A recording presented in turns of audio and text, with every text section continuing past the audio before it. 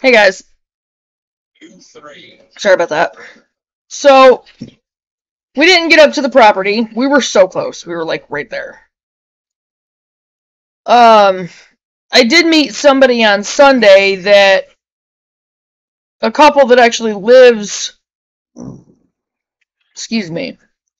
Their their tract of land is 248. Ours is 242. They literally live within walking distance of our property. And I couldn't get a hold of them in time like while we were trying to find it. But they they did call me back after we got back home and they told me that all I have to do next time is give them a call and let them know that we're going to be going up there to try to find it and they will help us out. They will actually meet us out on the road and show us exactly where to go. So, next time we will get there. We did try.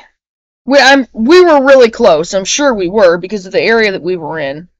I recognized like quite a few different things in that area where we had been last time shortly before we actually found our property. So, I'm I know we were close. So, but next time for sure we will get there and there will definitely be a video.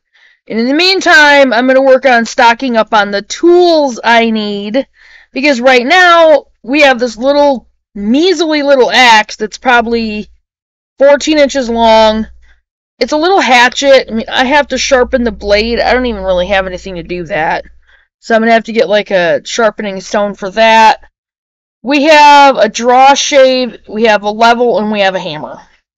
So, I'm going to have to get some more tools, some more things to use that we need.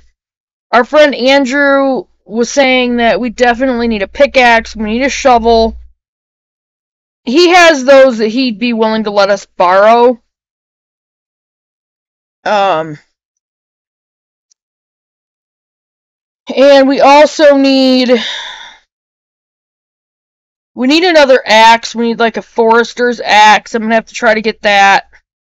And I'd like to get another brand new mini hatchet along with another draw shave. So we've got to collect up a few more tools.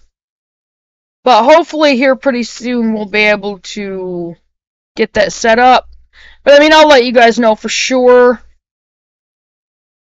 I just, I wanted to do a little a little video letting you guys know what happened and I still have to finish uh, getting the information ready for the informational video that I'm going to do today. So I'm going to get off from here, get this uploaded, and I will see you guys on the next video and talk to you guys more.